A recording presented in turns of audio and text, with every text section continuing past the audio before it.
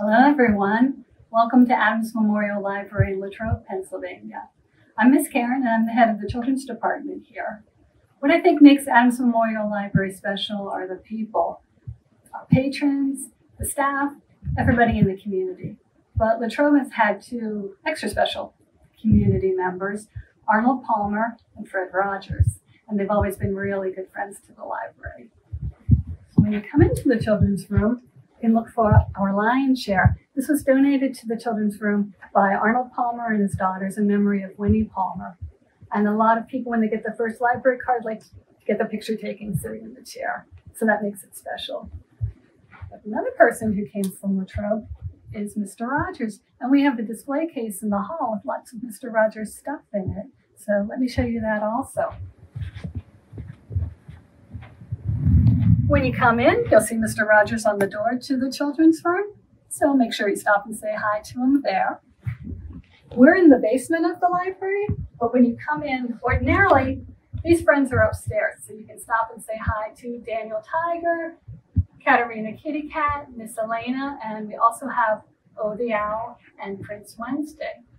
These were made by the Eastern Westmoreland Career and Technology Center, and they're here to welcome you to the library too. Here's the case with some things from Mr. Rogers. Mr. Rogers dinosaur replica, a train, Mr. Rogers train car. This is a copy of the yearbook from the year that Mr. Rogers graduated. He graduated from Latrobe High School, and it's open to his picture.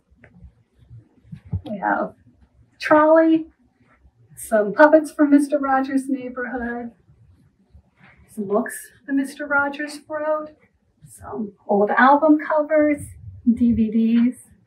So even though Mr. Palmer and Mr. Rogers are no longer with us, they, they still continue to be great friends to the library to this day.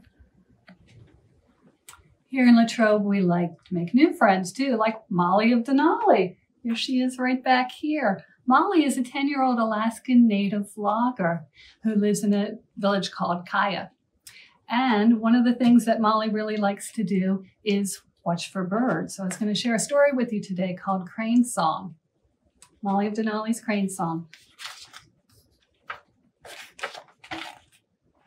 Crane Song is based on a television episode written by Princess Daazhraii Johnson.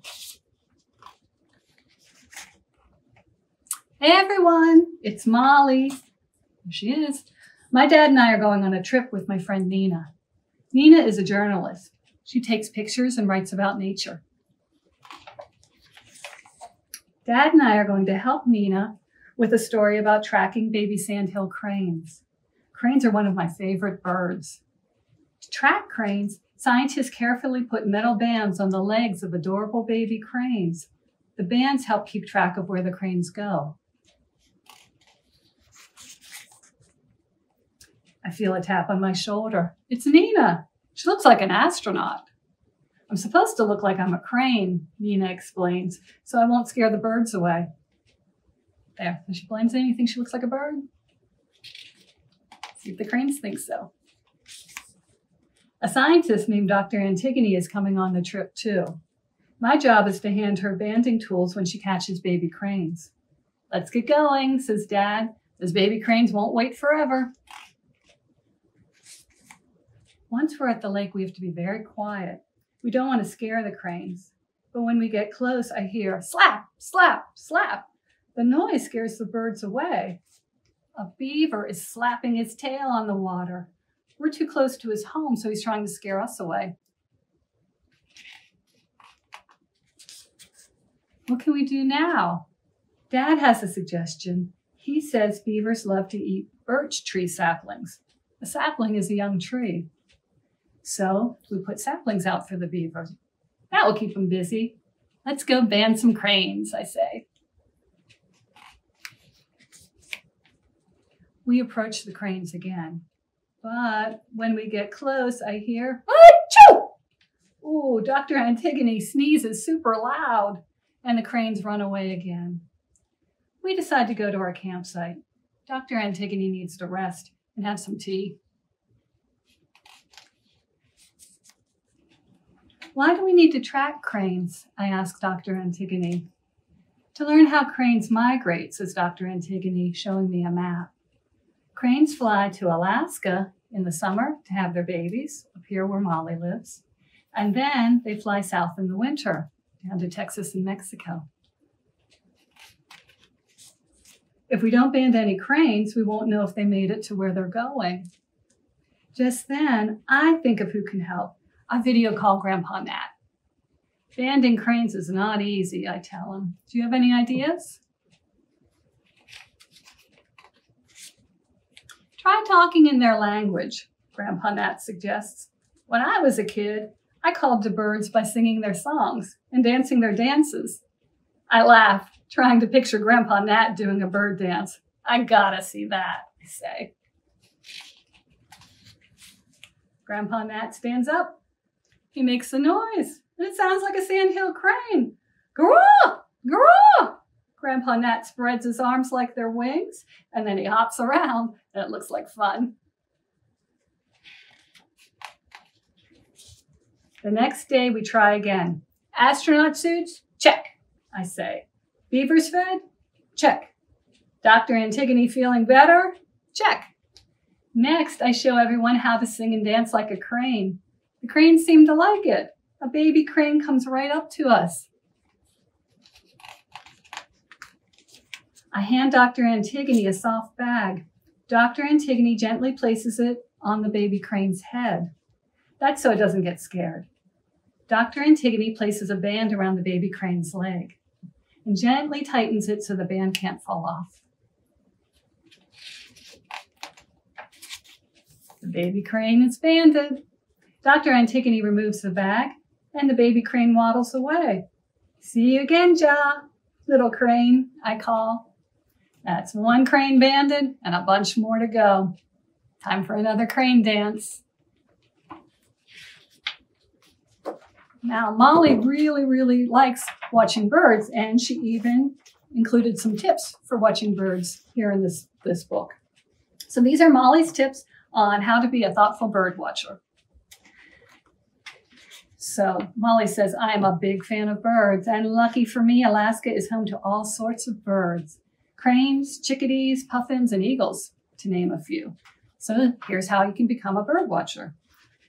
Step one, use the right tools you might want to get binoculars so you can look at the cranes up close by still keeping your distance from them so they don't get scared. And you can also use a field guide to help you identify the birds you see. You could look online or you could get a field guide from your library. Step two, practice listening. Every bird has its own unique call, Molly says. And it's easier to identify birds when you can see and hear them. So you can see which bird and listen for the song and see what kind of sound they make. Step three, bring company. Bird watching is a really fun activity, but it's even better with friends. Molly also has a field guide to birds, and if you would like, you can print it out and use it yourself too. So here's Molly, Den- Molly of Denali's Field Guide to Birds by Molly and you. And Molly included some of the birds she's seen, like a robin, which you've probably seen too. So she has a picture of the robin, what it sounds like, where it lives, and some facts about robins. Molly has also seen Canada goose, great horned owl. You may have heard those. And rock pigeon. You may have heard those too or seen those. But you can also print out papers for yourself to use for the birds that you see. And you can draw a picture. You can describe the bird here. If you want to go to the internet and find a picture or take a picture yourself and then print it out, you can put your bird here. If you've heard it, you can say what it sounds like, where it lives, where you saw it, and some interesting facts. So you can print as many of these as you want. You can keep looking for birds and just keep adding them. If you would like, you can put these in a binder instead of stapling it so you can keep adding to it. And then you can write everything down in the index in the back. Molly's already seen the robin, the goose, the horned owl, and the pigeon, so you can just take it from there. So we hope you will join us in doing this activity this summer. Looking for birds is a great way to spend your summer. So thanks so much for visiting Adams Memorial Library today. The key word for our library is birds. So don't forget to write birds down on your Library Explorer passport. So thank you so much for visiting. Thank you. And as Molly would say, Mahsi' choo. Thank you.